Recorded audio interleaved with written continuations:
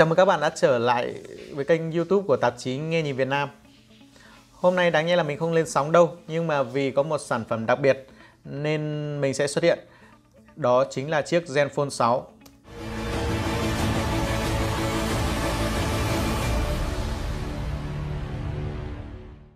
Zenfone 6 sở hữu cấu trúc khung kim loại kết hợp hai mặt kính như hầu hết flagship hiện nay.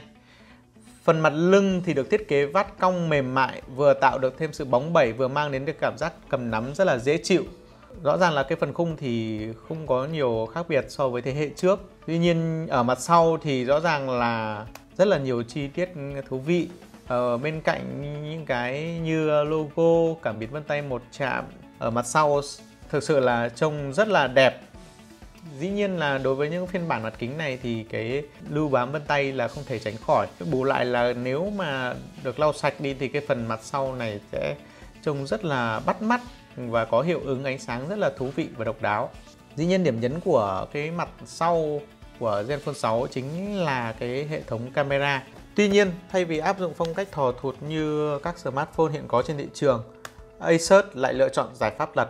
Bây giờ thì mình sẽ thử cho các bạn xem. Đấy, các bạn có thể thấy là khi bật chế độ sang chế độ chụp cam trước thì camera sẽ lật lên.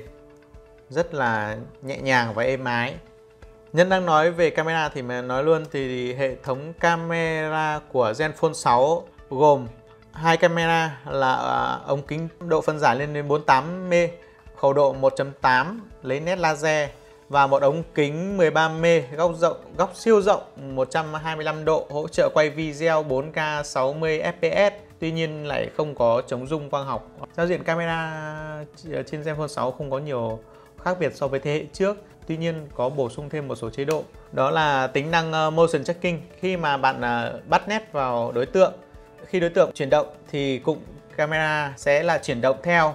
Rõ ràng là mình không hề chạm vào tác động vào máy nhưng hệ thống camera sẽ lên và xuống theo cái di chuyển cánh tay của mình Ngoài cái motion tracking thì bạn còn có thể điều khiển hệ thống camera bằng cách là kéo trượt trên màn hình.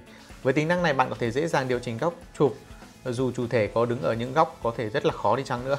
Về mặt trước thì rõ ràng bạn có thể thấy đây Zenfone 6 cũng đang sở hữu một thiết kế màn hình tràn viền với phần viền siêu mỏng có kích thước là 6,4 inch, độ phân giải Full HD+, tấm nền LCD, có hỗ trợ HDR10.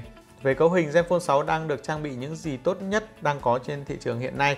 Snapdragon 855, RAM tối đa lên 8GB và tùy chọn dung lượng lưu trữ bộ nhớ trong lên đến 256GB. Sở hữu một thân hình gọn, nhẹ.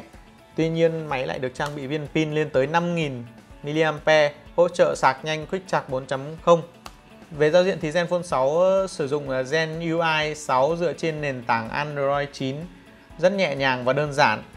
Và đây là bài trên tay nhanh của Zenfone 6 của mình. Uh, hy vọng sản phẩm này cũng sẽ sớm có mặt tại thị trường Việt Nam để cho các bạn được trải nghiệm.